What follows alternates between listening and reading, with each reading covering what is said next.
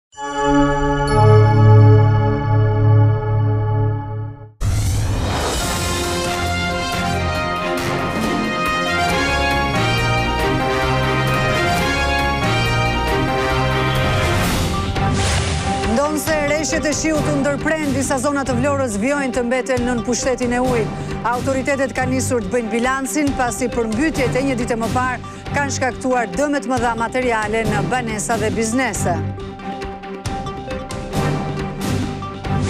Një nga shtetet më të prekura nga moti i keq që goditi ditën e djeshme Ballkanin është Bosnjë Hercegovina. Mediat atje flasin për 21 viktima dhe dhjetëra të zhdukur. Në terren, vijojnë kërkimet për gjetjen e personave të tjerë.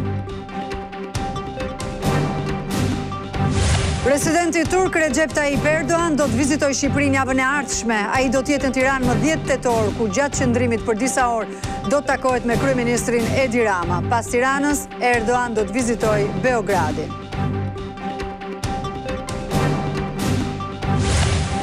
SPAK dyshon se në të paktën 12 aksione të tij për goditjen e korrupsionit dhe krimit të organizuar, mund të jetë tradhtuar nga policia dhe hetues të BKH-së. Për këtë ka nisur 12 procedime për zbulimin e atyre që nxorën akte dhe të dhëna sekrete.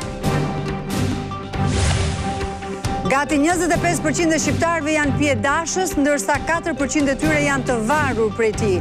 Mjekët thonë se fenomen shqetësues vitet e fundit është shoqërimi i alkoolit me kokainë. Një në 11 vdekje në Europë ka si shkak përdorimin e alkoolit. Bejruti është kthyer tashmë në zonë lufte si pasojë e sulmeve ajrore të Izraelit. Forcat izraelite kryen gjatë natës mbi 12 sulme, ndërsa shtete të ndryshme kanë nisur operacionet e evakuimit për largimin e qytetarëve të tyre nga Libani.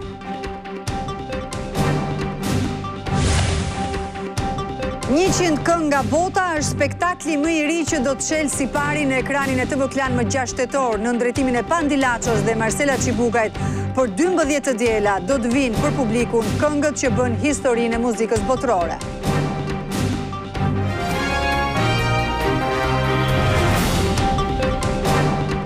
Ju përshëndes të gjithëve, mirë se vini në TV Klan. Ky është edicioni i lajmeve të orës 15:30 minuta. Ndoqët disa prej titujve kryesorë të ndalemi menjëherë më gjerësisht. Ndonëse reshjet e shiut u ndërprenë që prej mbrëmjes së djeshme, disa rrugë në Vlorë vijojnë që të mbeten nën pushtetin e ujit. Autoritetet kanë nisur të bëjnë bilancin, teksa përmbytjet e një dite më parë kanë shkaktuar dëme të mëdha materiale në banesa dhe biznese. Reshjet e dendura të shiut që mbizotëruan ditën e djeshme në vendin tonë ia kanë lënë vendin diellit, por pasojat e përmbytjeve në Vlorë janë ende prezente. Shumë zona në qytet janë ende nën pushtetin e ujit, ndërsa nuk mungojnë problemet edhe me mungesën e energjisë. Kështu akset kryesore rrugore përfshirë rrugën transballkanike, bulevardin e Vlorës, lungomaren, si dhe rrugët Gjergj Arianiti, Gjergj Kastrioti dhe Kosova, janë të zhytura në ujë. Qindra automjete janë ende të bllokuara nëpër rrugët e qytetit, ndërsa rreth pesëdhjetë e pesë banorë janë evakuuar dhe do të qëndrojnë në konvikte të Universitetit të Vlorës. Tre persona janë shpëtuar nga përmbytjet, përfshirë një grua e cila fatmirësisht shpëtoi pa lëndime serioze. Me dhjetra banesa dhe hyrje pallatesh janë ende të zhytura në ujë. Këto janë pamjet në banesat private të disa prej banorëve të prekur. Nuk futem, hyrja ja siç e shikoni është është mbushur plot, nuk futem dot në shpi, jam qiell të hapur, ku nuk di ku të vete. Lutem shteti të më ndihmojë, nuk kam rroba, ja siç jam kështu jam gdhirë tërë natën. Na janë tharë rrobat në trup. Shteti janë mbushur brenda siç i patë gune dhe e llaçkit. Ku do vemi pleqit, këtu po vdesim. Ndërsa bizneset kanë nisur të largojnë ujin dhe të bëjnë bilancin e dëmeve, ku sipas tyre arrin në miliona lekë. Ne që kemi dëmin e ndjejmë shumë, i kalon mbi shtatëdhjetë mijë euro, mos më shumë, sepse vetëm një parti që ne kishim për riparim ishte shtatëdhjetë e pesë mijë, një parti prodhimi.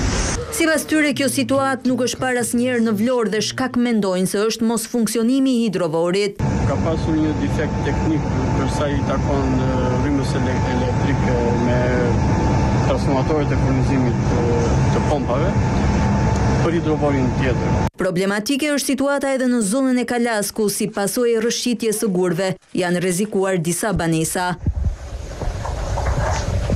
Rrëshqitjet e dherave kanë krijuar probleme edhe në rrugët që lidhin Kaninën dhe Orikumin me Vlorën. Situatën problematike në Vlorë e ka konfirmuar edhe kryetari i bashkisë, Ermal Dredha. Është në kapacitet të plotë edhe hidrovori, nuk ka ndaluar asnjë moment së punuari, por dihet me thënë që këto janë dhe pak të mbartura, janë investime të vjetra, duhet parë mundësia që më vonë të paktën nga katër pompa që kemi, dy i kemi pak më të reja, dy t'i zvendësojmë, edhe atë jemi duke bërë. Dredha thotë se bashkia është duke monitoruar situatën dhe se po shikohet mundësia për mbështetje financiare. për familjet e prekura nga përmbytjet. Një database të qartë me gjithë informacionet që kemi, në drejt në bashkëpunim me Drejtorinë e Emergjencave, për pastaj për të marrë ato masat që vijnë më pas sa i përket edhe suportit qoftë financiar apo kompensimit për dëmet që kanë që janë shkaktuar, qoftë në banesa, qoftë në njerëz. Në ndihmë të banorëve ka qenë edhe ushtria. Ministri i Mbrojtjes thotë se gjashtëdhjetë e dy objekte janë nën ujë. Sipas tij, probleme teknike dhe infrastrukturore shkaktuan situatën e përmbytjeve. Kemi një situatë ku në shumë pak orë kanë rrëshuar, vërshuar njëzet centimetra ujë. Ka gjithashtu edhe shkaqe teknike që lidhen me situatën e të gjithë rrjetit infrastrukturor dhe të evakuimit të ujërave të zeza dhe të bardha në nivel bashkie dhe qarku. Çlirimi i ujërave nga pallatet dhe banesat është prioritet. Po presim të na bashkohen edhe dhjetë mjete pompimi, dy mjete me, me kapacitet shumë të lartë pompimi që përdoren vetëm për rastet e forcave të armatosura, por do vendosen në dispozicion të bashkisë. Por një prej pompave të hidrovorit të Vlorës u përfshi nga flakët duke dalë jashtë përdorimit. Ndërkohë, në qytetet e tjera, përmbytjet e një dite më parë nuk kanë shkaktuar dëme. Për të mësuar më shumë mbi situatën në Vlorë, kemi në këto momente në komunikim të drejtpërdrejtë gazetaren Greta Haskaj. Greta, a ka përmirësim situata në Vlorë në këto momente që flasim dhe cilat mbeten zonat më problematike?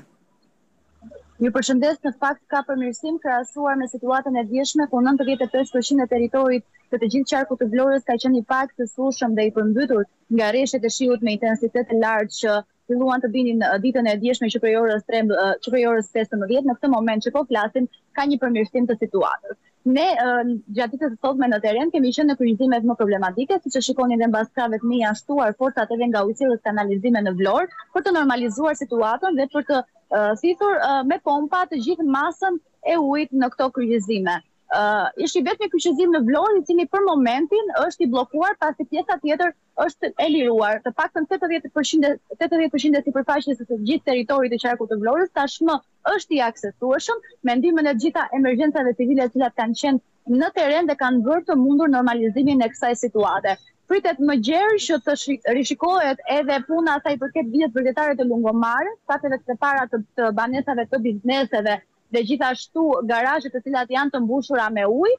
për të sjellë më pas një rezultat dhe një rezyme të të gjithë asaj që ka nisur që prej orës pesëmbëdhjetë e ditës së djeshme. Po. Greta, është raportuar për një problem me hidrovorin e Vlorës. Çfarë ka ndodhur? Po, është e vërtetë, vetëm pak minuta më parë, një nga pompat e hidrovorit është përfshirë nga flakët. Kjo si pasojë dhe sipas komunikimeve që kemi pasur me përgjegjësit dhe specialistët atje, kjo ka ardhur si pasojë për arsye se njëra nga pompat e hidrovorit kanë qenë duke punuar me intensitet të lartë jashtë kapacitetit të tyre për të sjellë për të normalizuar situatën në të gjithë qarkun e Vlorës dhe për të tërhequr të gjitha masat e ujit lehtësisht. Por në momentin që njëra nga pompat e hidrovorit u përfshi nga flakët, automatikisht edhe tre pompat e tjera të hidrovorit kanë ndaluar funksionimin e tyre. Në këtë moment që po flasim, hidrovori është jofunksional dhe mund ta përmendim edhe si një nga arsyet kryesore se pse nëntëdhjetë minuta reshje shiu e kanë sjellë Vlorën në këtë situatë sot. E qartë. Greta, të falenderoj për të gjitha detajet që përcolle në këtë komunikim të drejtpërdrejtë nga Vlora. Ndërkohë, një nga shtetet më të prekura si pasojë e motit të keq që goditi pasditën e djeshme të gjithë Ballkanin është Bosnjë-Hercegovina. Mediat atje raportojnë për të paktën njëzet e një viktima, ndërkohë që dhjetra të tjerë rezultojnë të zhdukur. Ekipet e shpëtimit gërmuan nëpër rrënoja në fshatin boshnjak, Donja Jablanica, të shtunën në mëngjes duke kërkuar për njerëzit që u zhdukën në përmbytjet më vdekjeprurëse të Bosnjës në vite. N një TV raportoi se njëzet e një persona kishin vdekur dhe dhjetra ishin të zhdukur në zonën e Jabllanicës, shtatëdhjetë kilometra në jugperëndim të Sarajevës. Alka Glushiq, shtatëdhjetë e katër vjeç, thotë se humbi katër të afërm në përmbytjet vdekjeprurëse ndërsa kujton se ishte alarmuar nga një zhurmë e ngjashme me atë të një tërmeti e ndjekur nga një e dytë gjatë natës. Shkuam bashkë në shtëpinë e vëllait tim i cili vdiq së bashku me motrën dhe nusen. Të gjithë vdiqën, nuk ka mbetur askush. Vetëm një djalë ka mbetur tani. Shiu i dendur gjatë natës ndërpreu kërkimet për të mbijetuarit, por në mëngjes pamjet me dron dhanë një panoramë më të qartë të katastrofës që goditi një ditë më parë Jabllanicën. Rrugët, urat dhe hekurudhat janë shkatërruar dhe shumë qytete ende nuk kanë energji elektrike. Përmbytjet pasojnë një thatësirë të paprecedentë të verës, e cila shkaktoi tharjen e shumë lumejve dhe liqeneve duke prekur bujqësinë dhe furnizimin me ujë në zonat urbane në të gjithë Ballkanin dhe në pjesën më të madhe të Evropës. Meteorologët ia atribuojnë këto ndryshime ekstreme të motit ndryshimeve klimatike.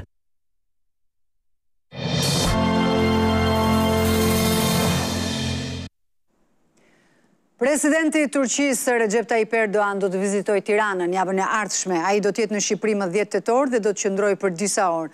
ndërsa më njëmbëdhjetë tetor do të jetë në Serbi. Në Tiranë presidenti Erdogan do të pritet nga kryeministri Rama, me të cilin do të zhvillojë një takim bashkë me kabinetet përkatëse si vijueshmëri e zbatimit të marrëveshjeve.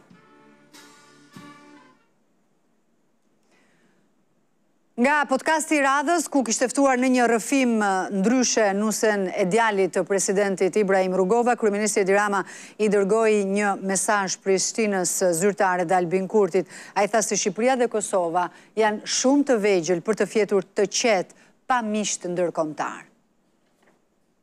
që hapet qielli për realizimin e Blerta Kllokoqi Rugova, nusja e djalit të presidentit Ibrahim Rugova, ishte e ftuara e kryeministrit Rama në podcastin Flasim. Në një rrëfim ndryshe e reja e Rugovës, e cila nuk e njohu personalisht presidentin, s'e fshehu aspak ambicien për t'u marrë me politikë, duke bërë edhe sugjerime për klasën aktuale politike të Prishtinës. mos me i prish raportet sidomos me miqtë tanë ndërkombëtarë, se zhvillimet e fundit po i shohim me një sy shumë kritik, sidomos kritikat që po vijnë me të madhe nga Shtetet e Bashkuara të Amerikës. Këtë qëndrim të saj e përforcoi dhe kryeministri Rama duke i dërguar një mesazh, ndonëse nuk ia përmendi emrin Albin Kurtit. Jemi shumë të vegjël për të fjetur të qetë nëse nuk kemi miq të mëdhenj. Është një parakusht absolut Për çdo vend vogël, pavarësisht kontekstit, pavarësisht pozicionit në të cilin ndodhen, ndodhet, që të ketë miq. Sipas kryeministrit Rama, bërja dhe mbajtja e miqve në kushtet e një vendi të vogël, si Shqipëria apo Kosova, është një parakusht për të cilin duhet të punojë cilido që ka në dorë marrëdhëniet ndërkombëtare.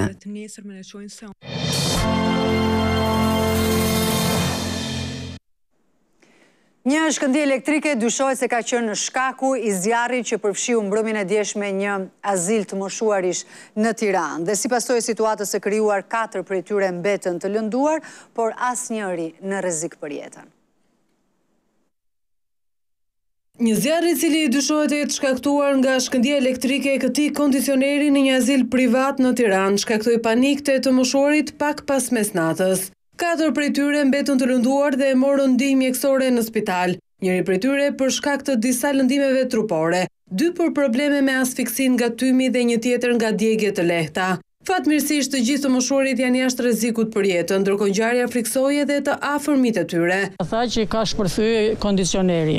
Edhe nga kondicioneri, se unë e di dhomën se unë shkoj përditë, kanë ron copat e atyne, ku diun, të kondicionerit edhe kanë djegë batanijen e krevatin aty. Pikërisht ke dhoma e nipit paska ndodh ngjarja. Flakët të cilat u përhapën më së shumti në një nga dhomat u neutralizuan nga zjarrfikësit të cilët në bashkëpunim me policinë e Tiranës evakuuan të gjithë të moshuarit. Gjykata e Korçës ka lënë në burg pa afat dyzet e pesë vjeçarin Bledar Trëndafili, i cili u vu në pranga disa ditë më parë pasi qëndroi për afro një muaj në arrati. Ai u shpall në kërkim pasi dogji me benzinë ish-bashkëshorten e tij, Melisa Trëndafili, duke i shkaktuar asaj djegie të shumta në trup. Gjatë seancës, dyzet e pesë vjeçari mësohet se është shprehur i penduar, ku ka deklaruar se nuk donte të bënte atë veprim. Ai ka thënë se ish-bashkëshortja nuk e lejonte të takonte fëmijët.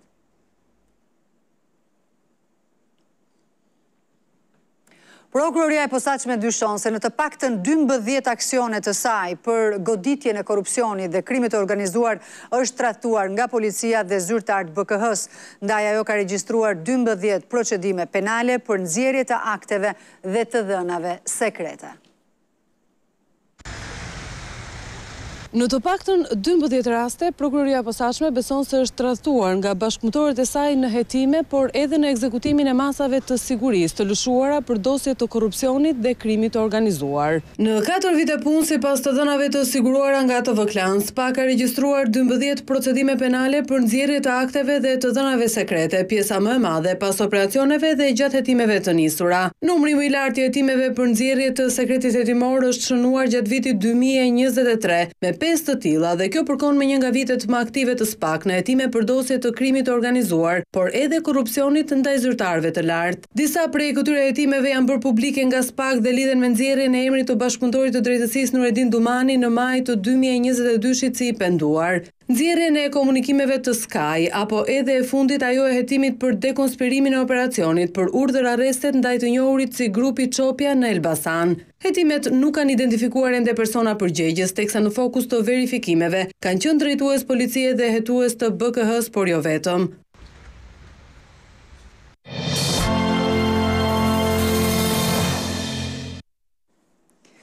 Gati njëzet e pesë për qind e shqiptarëve janë pijedashës, ndërsa katër për qind prej tyre janë të varur nga alkooli. Ndërkohë mjekët thonë se fenomen shqetësues gjatë viteve të fundit është shoqërimi i alkoolit me kokainë. Organizata Botërore e Shëndetësisë konstaton se një në njëmbëdhjetë vdekje në Europë kanë si shkak alkoolin. Sipas Bluzave të Bardha, në Shqipëri numri i personave të alkoolizuar është shumë i ulët, por vitet e fundit po vihet re një trend rritës të përdorimit të alkoolit me kokainën. Janë afro treqind raste në vit që paraqiten për të kërkuar ndihmë mjekësore. Të varur nga alkooli, janë rreth katër për qind të popullsisë, kurse pijedashët janë mbi njëzet e pesë për qind. Sidomos në këto vitet e fundit, alkooli tashmë shkon i bashkëshoqëruar me kokainën. Nga varësia, alkool plus kokainë janë gati treqind persona në vit. Ia dalin diku ke dyzet për qind. Ky fenomen po vihet re edhe në zonat rurale. Trendi është i frikshëm për shkak të interferimit me kokainë. Edhe në zonat rurale po përdoret. Sipas OBSH-së, të dhënat në Shqipëri tregojnë një konsumim prej pesë pikë një litër për frymë në popullatë. Meshkujt janë konsumuesit më të mëdhenj me tetë pikë katër litra dhe një pikë nëntë litra tek femrat. Sipas ekspertëve, shqiptarët konsumojnë më shumë birrën me tridhjetë e nëntë pikë gjashtë përqind, e renditur nga pijet e forta si rakia me tridhjetë e katër pikë një përqind, dhe vera me njëzet e katër pikë pesë për qind. Afro katër pikë dy për qind e vdekjeve në Shqipëri kanë shkak kryesor konsumin e lartë të alkoolit.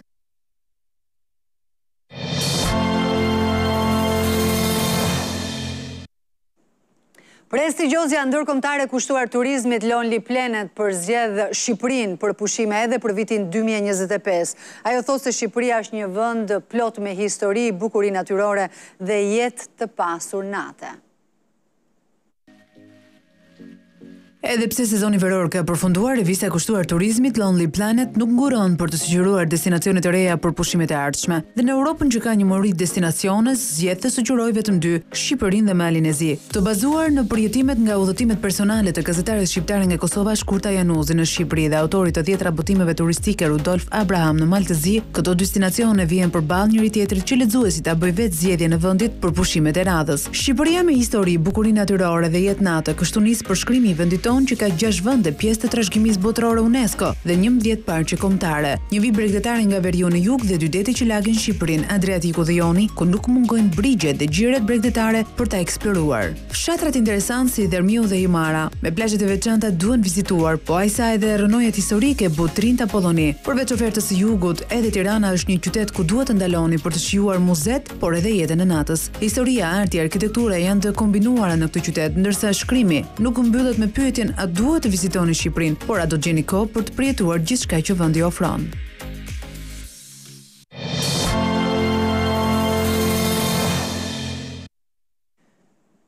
Kryeministri Albin Kurti është optimist se Lëvizja Vetëvendosje do të marrë më nëntë shkurt një rezultat më të mirë se ai në vitin dy mijë e njëzet e një.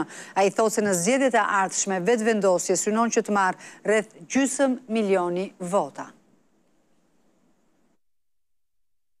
Përkundër pretendimeve të opozitës se ekonomia e Kosovës po vuan politikat e gabuara dhe sanksionet e ndërkombëtarëve, kryeministri Albin Kurti thotë se përgjatë tri viteve të qeverisjes së tij, ekonomia është rritur për tridhjetë e tre për qind. Ekonomia e vendit tonë është rritur për tridhjetë e tre për qind, buxheti i shtetit për tridhjetë e pesë për qind. Të hyrat tatimore janë gati dyzet për qind më të larta sesa në vitin dy mijë e njëzet e një, eksportet janë dyfishuar, kurse investimet e huaja më shumë se dyfishuar. Kemi shpërndarë rreth një pikë tre miliardë euro te qytetarët dhe bizneset. Ndaj, nga mbledhja e Këshillit të Përgjithshëm të Lëvizjes Vetëvendosje, ai theksoi se për të gjithë këto arritje edhe mbështetja për forcën që ai drejton mbetet sërish e madhe.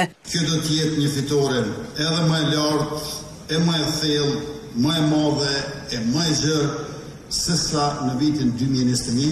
Sipas Kurtit, Vetëvendosja synon që në zgjedhjet e nëntë shkurtit të arrijë të marri gjysmë milioni vota.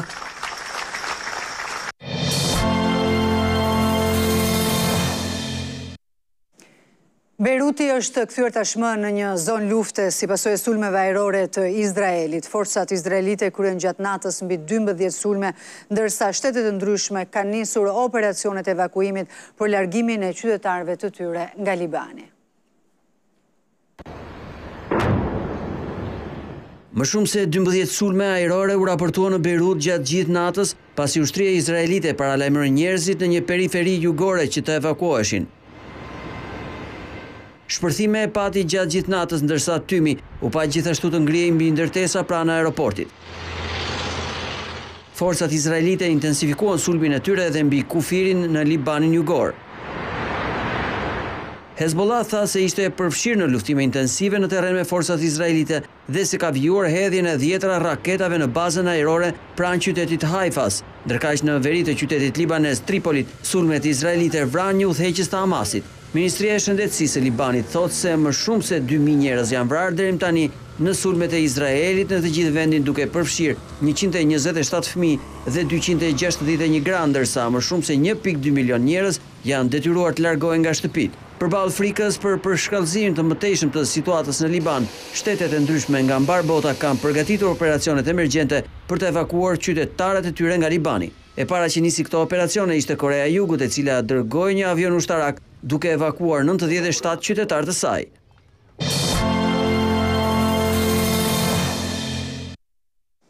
Nga kjo e shtunë nis seriali më i ndjekur turk Familja i cili ka thyer rekorde shikueshmërie. Ky serial për herë të parë do të jetë i dubluar në gjuhën shqipe dhe rolin kryesor e ka aktori turk me origjinë shqiptare Kivanç Tatllëtu.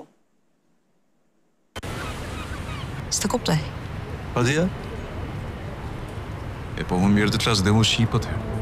Një nga surprizat e këtij sezoni televiziv në ekranin më të madh shqiptar TV Klan do të jetë seriali më i ri turk që ka thyer rekorde shikueshmërie, Familja, që për herë të parë do të vijë i dubluar në shqip.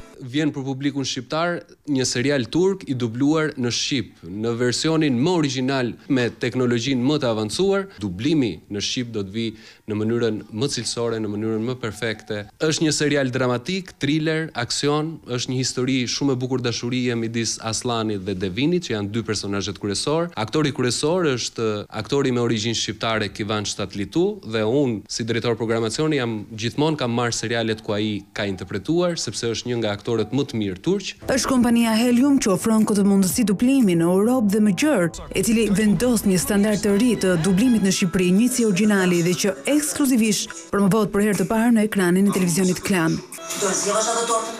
As qumështi nuk i erdhi kësaj çyrykes tonë. Nga Audio një në Audio dy, e vetmja gjë që do të ndryshojë është gjuha. Jemi pionierët e parë në Europë që po sjellim me këtë lloj forme teknologjie të avancuar, këtë lloj kualiteti për të cilën Shqipëria vërtet ia vlen të jetë krenare. Një proces klasik i dublimit, domethënë nga mënyra e aktrimit, mënyra e sinkronizimit, mënyra e interpretimit të akustikës së skenave. Seriali Familja do të vijë çdo të shtunë me tre episode premierë në orën njëzet e pesë minuta në ekranin e televizionit Klan duke nisur nga pesë tetori. Njëqind këngë nga bota është spektakli më i ri që do të vijë për publikun shqiptar nëpërmjet televizionit Klan nga gjashtë tetori. Pandi Laço dhe Marsela Çibukaj do të jenë moderatorët, ku për dymbëdhjetë të diela do të mbajnë të mbërthyer publikun shqiptar me këngët që bënë historinë për dekada në muzikën botërore. Muzika më e mirë botërore nga kjo e diel do të vijë në shtëpinë tuaj përmes ekranit të televizionit Klan. Gjithçka po bëhet gati për të sjellë produksionin më të ri televiziv që do të flasi vetëm në gjuhën e tingujve dhe poezisë së fjalëve. Njëqind këngë nga bota do të vijë nga treshja që në çdo emision televiziv, ku shpërfaqen vlerat e vërteta artistike, kanë shënuar rekorde shikueshmërie duke i bërë mjaft të dashura për publikun. Regjizori Bledi Laço, Adrian Hila dhe Pandi Laço që do të veshë kostumin e moderatorit, premtojnë të diela emocionuese dhe që do t'ju mbajnë mbërthyer në ekran. Vijnë zhanre të ndryshme të muzikës, koloriti i gjithë muzikës së botës. Do të jetë nata napoletane kjo e para, pastaj do të vijë nata greke, Nata e muzikës british, jazz and blues e kështu me radhë. Nuk do të jetë vetëm sepse Marsela Çibukaj në skenën e njëqind këngë nga bota do të ngjitet jo vetëm si artiste, por krah Pandi Laços si bashkëmoderatore. Është emocion i dyfishtë dhe sigurisht edhe përgjegjësi e dyfishtë. Është një projekt shumë i bukur. Mezi pres të këndojmë dhe të gëzojmë të gjithë së bashku. Nata e parë do t'i kushtohet muzikës napoletane. Në natën e parë do të jetë Eneda Tarifa, Juliana Pasha, do të jetë Armaldo Kllogjeri, do të jetë Xhon Ardit Fejzo që ka ardhur nga Italia. Një nga zërat më të shkëlqyer në mënyrë absolute do të jetë edhe Josif Gjipali. Do jenë këngë nga e gjithë bota. Napoli është shtet më vete, them gjithmonë unë, dhe me siguri merr pjesë të veçantë në zemrën time. Ti tieni 'e capille ricce ricce. Unë i kam shumë qejf këngët napoletane sepse ngjasojnë shumë me traditën tonë muzikore, janë shumë këngë të gëzueshme dhe kam zgjedhur dy këngë që i kam kënduar para shumë vitesh. Për mua gjithmonë është bukur dhe emocionuese të performoj. Këngët napolitane vërtet janë popullore, por në mënyrën e të kënduarit kanë një mënyrë edhe më pak klasike, të impostuar. Dhe nuk mund të mungonte një i ftuar special nga Napoli, artisti Valter Ricci. Është një ndjenjë e jashtëzakonshme, sepse energjia që gjej këtu, është energjia pothuajse e njëjtë që gjej në qytetin tim Napoli. Do të jenë dymbëdhjetë të diela, shumë artistë të njohur shqiptarë që do të interpretojnë live të shoqëruar nga një super band dhe të ftuar special. Është vërtet një përgjegjësi e madhe, sidomos kur bëhet fjalë që do jemi duke shoqëruar artistët më të mirë shqiptarë dhe vërtet e ndiejmë peshën e kësaj përgjegjësie. Njëqind këngë nga bota nga gjashtë tetori do të vijnë çdo të diel në orën njëzet e një në ekranin e shqiptarëve në TV Klan, me këngë që i flasin ndjenjave dhe kujtimeve.